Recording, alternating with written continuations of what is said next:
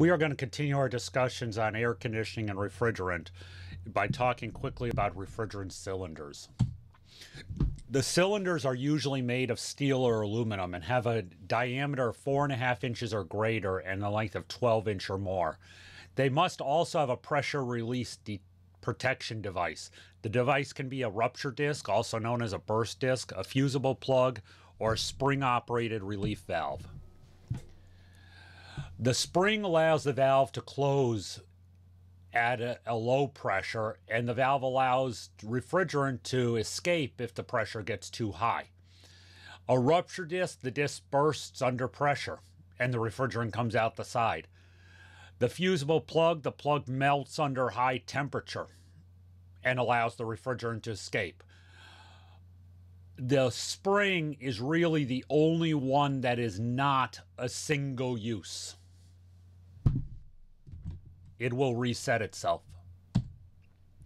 Once a rupture disc opens, it allows all the content of the cylinder to be released. A fusible plug is made up of metal with a low melting point, which melts and releases a cylinder's entire charge if the refrigerant begins to overheat. Refrigerant cylinders also at least have one valve at the top that provides a connection to access the refrigerant. Regulations for cylinders are prescribed by the Department of Transportation. That's a very important point. The Department of Transportation requires that cylinders contain a corrosive refrigerant must be inspected and recertified every five years.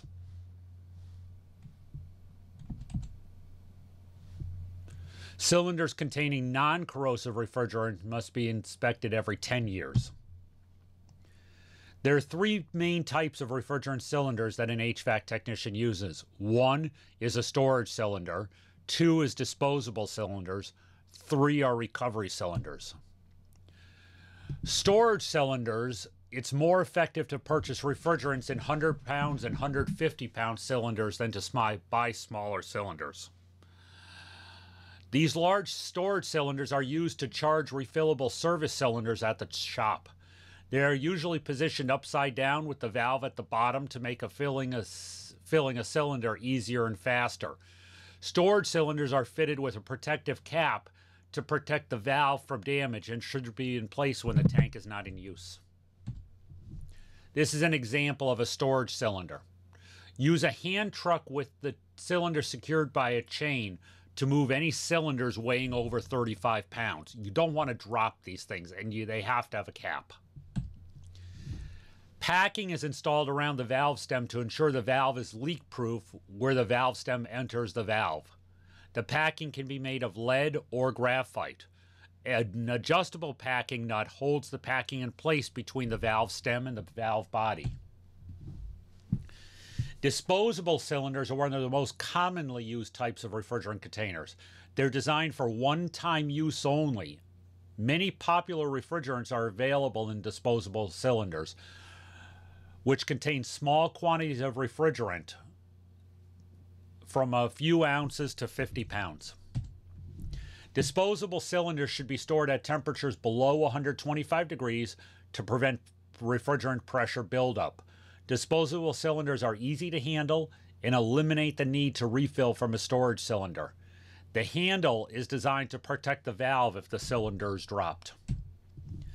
So again, we have a carrying handle, we have a refrigerant valve, and we have our labels. These are 15 and 24 pound containers, and that's basically on the weight of the contents of the refrigerant. Disposable cylinders have a rupture disc, okay? It will be a disc that blows out if the refrigerant and pressure gets too high. For cylinders with only one valve, a technician will charge the system with the vapor right side up, valve on top, or with liquid upside down, valve on the bottom. Service technicians are often required to carry refrigerant cylinders and a tool bag up onto a roof. A carrying strap is a useful tool. If you're climbing a ladder, it's a lot easier to have a carrying strap for your refrigerant than to try to do it with a hands on the ladder and on the refrigerant cylinder. It's safer as well. Prior to disposing of a disposal cylinder, all refrigerant must be recovered into an approved recovery cylinder, including the vapors. Then the disposal cylinder must be evacuated down to atmospheric pressure, and the cylinder may then be disposed of or recycled. Disposal cylinders are not designed for recovery use and should never be used for this purpose. Before you dispose of a disposable refrigerant cylinder, pop you have to break the handle off in the open position and you have to pop out the rupture disc. The reason for this is you don't want kids in the neighborhood or climbing into the dumpster finding these cylinders and try to use them for other purposes. Recovery cylinders is the next thing we're going to talk about.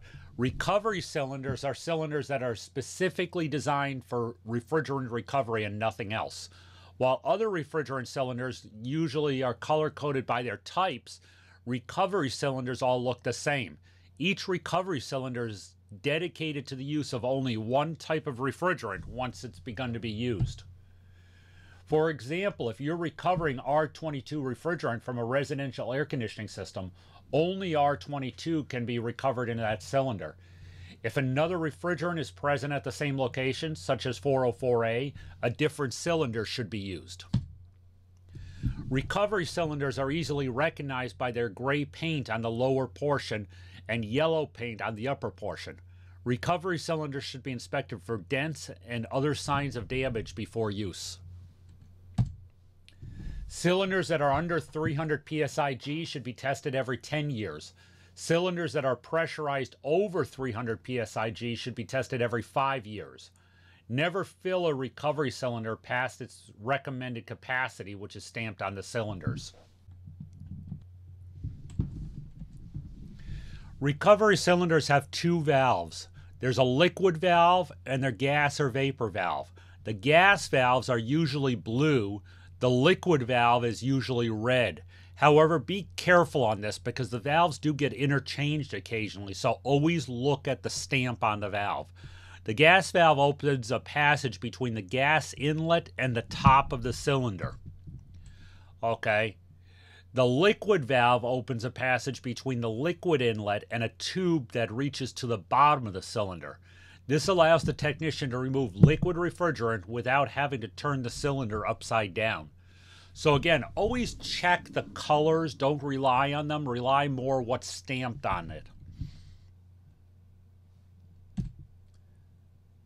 And this is just another picture of this.